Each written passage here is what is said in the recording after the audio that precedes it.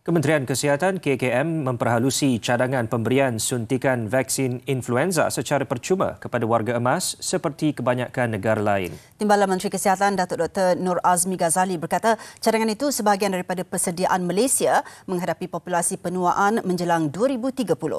Kepentingan mewujudkan lebih ramai pakar dan fasiliti khusus akan dibentangkan dan menjadi salah satu fokus dalam Kertas Putih Kesihatan. Ketika ini, warga emas digesa mendapatkan suntikan vaksin influenza bagi mencegah penyakit itu sekaligus mengurangkan risiko kemasukan ke hospital dan kematian. Katanya kajian Pusat Kawalan dan Pencegahan Penyakit Amerika Syarikat mendapati lebih 70% kemasukan ke hospital dan 85% kematian berkaitan selsema berlaku dalam kalangan pesakit berusia 65 tahun ke atas.